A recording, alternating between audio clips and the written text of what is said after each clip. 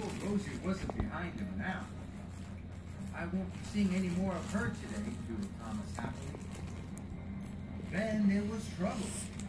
Earth and stones tumbled down the bank and blocked Thomas's track. Cinders and ashes, cried Thomas. Lucky, But he still What are you doing? what are you doing? What are you doing?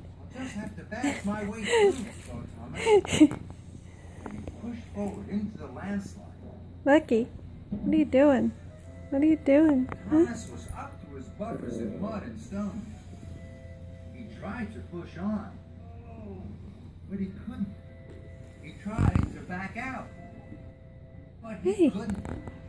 What are you doing? Stuck. Lucky, Thomas felt silly Lucky. and very sad. I should have listened to Harold, he wished unhappily. get him, Balto. Now Alice won't get her presents on time. I've let her down, he thought sadly. Then he heard the toot of another engine. It was Rosie puffing proudly up the hill behind him.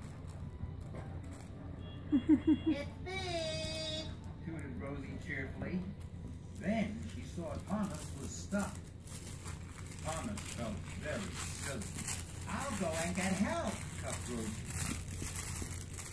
Wait a minute, whispered Thomas. Please, will you deliver Alice's presents for me? Rosie was very happy.